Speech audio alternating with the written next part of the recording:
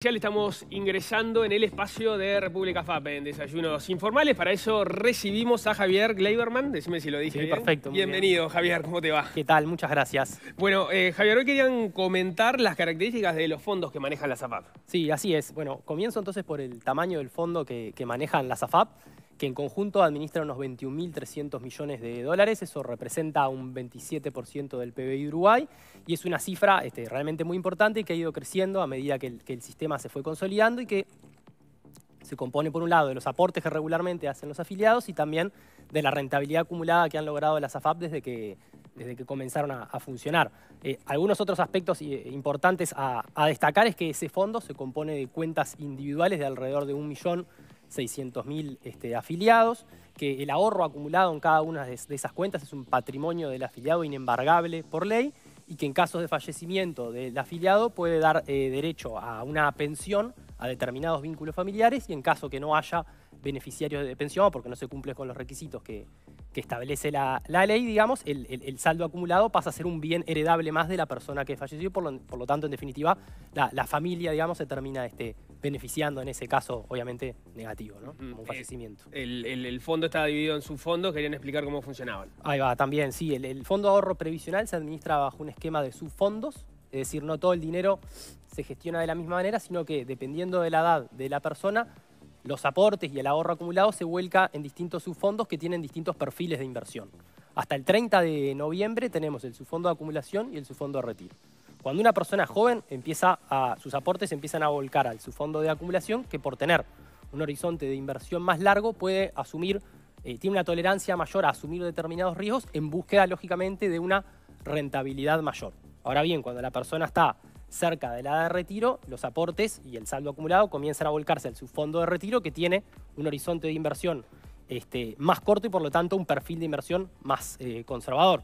Eh, en, palabras, este, bueno, o en otras palabras, digamos, la idea es que cuando el afiliado joven se encuentra en, condiciones de invertir en activos más sensibles a los vaivenes de los mercados financieros porque incluso en el caso de que ocurra un escenario de estrés, un escenario de, negativo, dispone del tiempo suficiente como para que su ahorro recoja lo, los frutos de una recuperación posterior. Ahora, cuando ya se está más cerca de, la de retiro, eh, se debe invertir en activos más seguros, con menos volatilidad, resignando quizás un poco de rentabilidad en relación al subfondo de acumulación, pero de alguna manera con el objetivo de resguardar ese capital que, que ya está acumulado.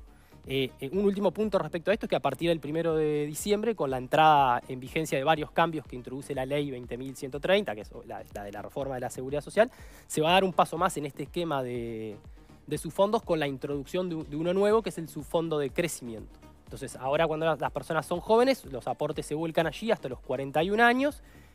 A partir de esa edad, el saldo y los aportes se empiezan a, a traspasar gradualmente hacia el subfondo de acumulación y seis años antes de la edad de retiro aplicable del afiliado, otra vez empieza a pasar de acumulación a retiro este, también de, de forma gradual. Otro, otro punto que les parecía importante destacar era eh, el tipo de inversiones eh, sí, que hacen sí. las AFAP. Nos, nos parece interesante destacarlo. Para ello trajimos, este, para ilustrar el punto, trajimos una, una placa que, ahí ya, ya vemos en, pantalla, como, como, se ve en, la imagen, digamos, la, mayoría de los fondos están invertidos en títulos emitidos por el gobierno y el Banco Central. Eso representa un 57% del fondo de ahorro pre previsional o si lo expresáramos en dinero serían unos 12.100 millones de, dólares.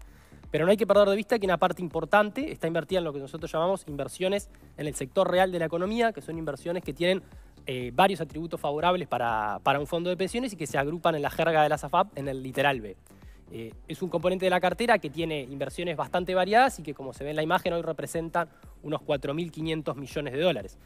Por ejemplo, allí podemos encontrar, bajo, bajo ese literal, eh, títulos de deuda de fideicomisos para financiar obras que llevan adelante las intendencias este, departamentales, deuda corporativa a través de la emisión de obligaciones negociables para financiar la actividad y los planes de, de expansión de determinadas empresas, o, por ejemplo, certificados de participación de proyectos eólicos, proyectos de um, infraestructura o, proyectos forestales.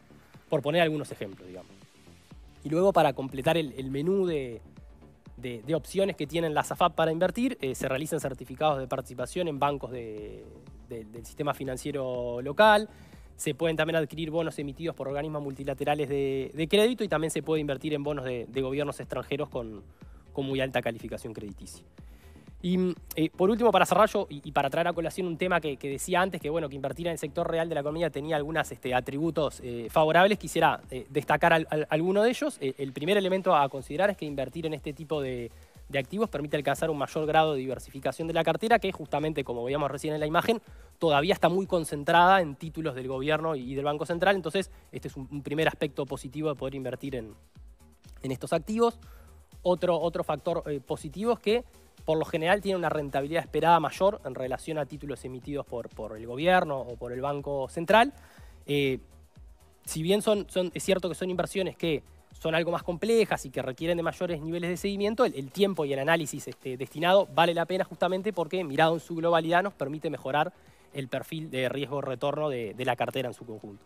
Y otra de las ventajas que tienen estos proyectos o estos activos del sector real de la economía es que su duración, digamos, su plazo se alinea bastante bien a los plazos que nosotros como, como fondo de pensiones buscamos, sobre todo en, su fondo de acumulación, en su fondo de crecimiento, en donde a, las personas todavía le queda mucho tiempo para retirarse y por lo tanto una porción importante, digamos, de la cartera tiene que estar invertida en, instrumentos financieros de, largo plazo y estos, activos por lo general tienen plazos de 10 o 20 años que calzan muy bien con ese perfil. Entonces estos son como a grandes rasgos los atributos favorables que tiene invertir en el sector real de la economía desde el punto de vista financiero, pero también de manera indirecta al invertir en el sector productivo de alguna manera se está generando un impacto positivo en, variables claves para el desarrollo del país, como es la generación de empleo, el crecimiento económico, son inversiones también que están muy diversificadas o, que llegan a todo el territorio eh, nacional. Lógicamente que nosotros como administradores de, fondos de ahorros previsional, lo que nos fijamos eh, en, primer y casi que en único lugar es que estas inversiones cumplan con las características financieras técnicas que nosotros entendemos adecuadas para proceder con, con estas inversiones. Pero bueno, si además de cumplir esos requisitos generan efectos positivos en, la economía, bueno, también este, lo vemos como algo muy, muy bienvenido y, favorable. Bien, Javier, muchísimas gracias. Los esperamos la semana que viene. Cómo no, muchas gracias a ustedes. Déjame cerrar nomás eh, que con cualquier duda referente a este tema o al sistema previsional pueden visitar la página web www.republicafap.com.uy, llamar al 0800 28 88 o visitarnos en, en todas las agencias de, a lo largo del país. Bárbaro, muchísimas gracias. Muchas gracias a ustedes.